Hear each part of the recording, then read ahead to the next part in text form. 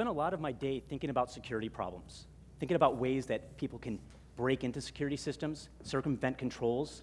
I also think a lot about how people can defend against security issues. But what I often don't spend a lot of time thinking about is my own personal privacy. Like many of you, I have vast amounts of information about myself available online. My, my doctor has information online about me. I bank online. I shop online. And even in the physical world, when I walk from my home to work, there are closed circuit television sets, television cameras all over the place, seeing what I'm doing. Many of those, in some parts of the world, actually have facial recognition.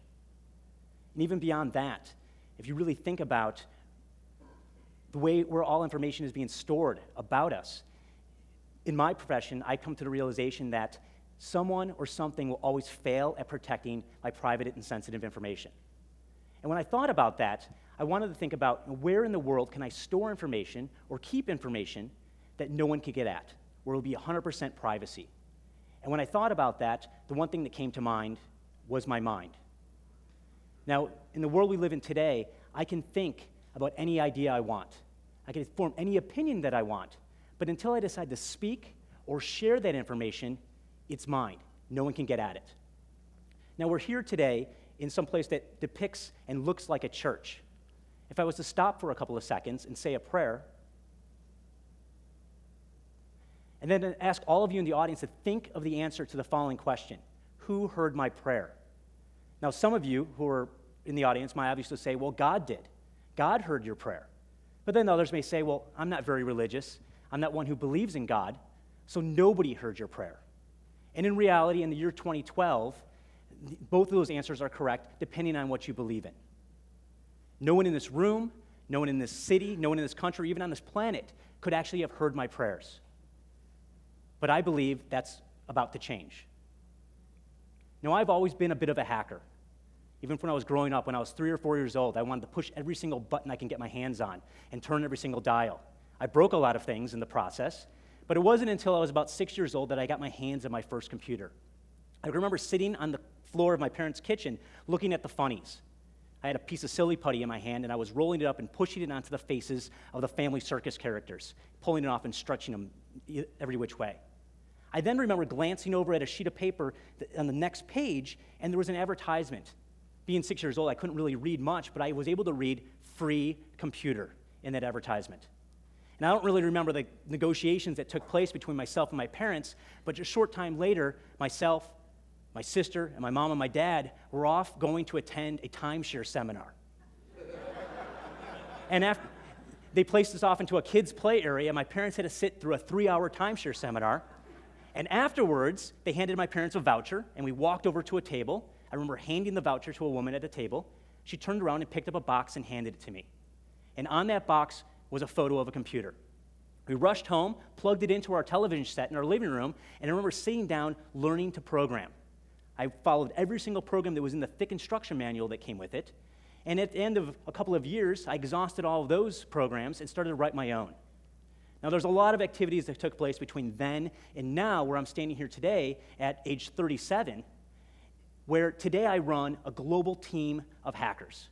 We hack into banks to try to steal information. We hack into video game systems to try to disrupt the play. We've even hacked into online gambling systems to try to get everybody else to, to fold and for us to take all, the, all, the way, all the winnings. But we're not criminals. We actually do this on behalf of those companies in order to uh, help them better the security of their systems. Now, in the world we live in, there are criminals who try to hack into systems to steal your personal and private information. And there's also industrial espionage and cyber armies that are gearing up today to try to get access to intellectual property or other information. And all of those organizations, including my organization, always gravitate towards, towards something called a zero day. Now, that may be a term that you're not familiar with, and so let me help describe what a zero day is. About a year and a half ago, a colleague and I, named Paul Kehrer, were doing research, security research we acquired a bunch of different mobile devices. We set them up in our lab and started running them through a whole series of tests. What we wanted to see is that when a mobile device was communicating to an endpoint over a secure channel, could we intercept that, that data? Now, if you think of the example of you pull your iPhone out of your pocket and you tap on your, your online banking application, your online banking application is connecting up to your bank. Now, the way things work is that that's encrypted. That data, your username password, your bank account details, your balance transfers that you're performing, all of that is being encrypted. Well, through our research, we actually discovered a flaw in iOS, which is the operating system that runs on iPhones and iPads, that allowed us to sit between an iPhone and the online banking system and actually intercept that data. Now, it was a critical enough vulnerability that we went off and, and told Apple about it. We reported it to them. And unlike a lot of companies, when we report security vulnerabilities, they didn't sit on it for 30 days or 90 days or a year.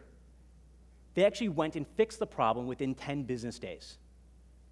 Within 10 days, 150 million people around the world saw an update in iTunes that said there's a new version of iOS that's ready to be installed.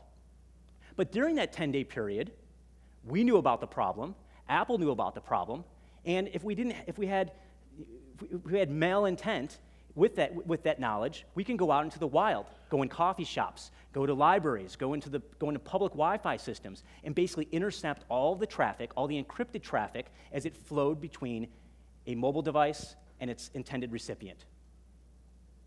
Now, that's what a zero day is it's a vulnerability that has no known fix. During that 10 day period, no one could fix this problem if we were to go out and try to attack people with it. Now, those zero days are actually very dangerous when they're discovered and they're also very valuable. There are organizations out there, vulnerability brokers, or even governments that'll pay researchers tens or even hundreds of thousands of dollars to get their hands on a vulnerability like that. Because they know they can use it to attack people or attack organizations, and there'll be no defense against that problem. Now, let's switch gears a little bit and talk about brains. Now, when I was eight years old, I had a little bit of a medical condition. I didn't really didn't bother me much, but it scared the hell out of my parents and my teachers. Um, basically, if I was to get hurt or get into a very stressful situation, I would pass out. And it was perceived that I was actually having a seizure. So my parents took me to some hospitals. Um, basically, one of the tests they had to run was an electroencephalogram, an EEG. I remember sitting down in the chair and having a technician placing electrodes all over the surface of my head. And he explained to me what was going on being eight years old, I was really confused. I thought it was kind of cool that I had electrodes coming out of my head, um, but I really didn't understand what this was all about. So when he explained it to me, he said, Your brain is like a computer. It's electrical, there's, there's circuits running around in your brain, even though they're made of cells. But we're to, through this test, we're going to see what your brain is doing. We're going to have you go to sleep for a few hours. And at the end of that, if there is, when we do some analysis, if there's a glitch or a bug in your programming, um, we may be able to help fix and cause you, from, cause you to stop having these seizures. Well, I didn't really think much about that since that time until a couple of months ago. I started to notice online that you can go out and purchase EEG, EEG devices for yourself. Now, they're not for medical reasons, they're actually for novelty, for entertainment purposes, or even, even trying to help people concentrate. You can go buy these devices, they're a couple of hundred dollars. You put them on your head, and then you pair it up with your iPad or your iPhone and start downloading games that are, that are designed to play with those. You can control things on those games, you could, you could make things move around on the screen. And I thought that was really rather interesting. But research is even going further along, along this path. Now, for me, one of my greatest fears would be to not be able to communicate not be able to speak, not be able to share my ideas and opinions, um, maybe typing on a keyboard or writing. Maybe I am in, a car, I'm in an accident or I suffer a disease where I'm not able to do that. I'm able to see, hear, smell, taste, and not be able to communicate with everybody in this room. Fortunately, for people that are going through that or have that unfortunate circumstance, there's wonderful research going on today. There's universities around the world that are trying to develop a mind computer interface. And they're not doing it with million dollar equipment. They're actually going out and purchasing these consumer grade EEG devices and hooking them up to systems and doing analysis of people's brainwaves to try to a- obtain information from their, from their mind. Now, we're still at the early stages of this, but some of the results have been rather promising. There's been studies that have been going on that they're able to convert thought to text with around 80% accuracy. They're able to extract things like social security numbers or credit card numbers out of people's minds. Now, if you think about where all this technology will be going, um, eventually this will be perfected for the, for the medical community. People who need this technology will be able to place one of these devices upon their head, and it will change their lives. They'll be able, now be able to communicate with people around them.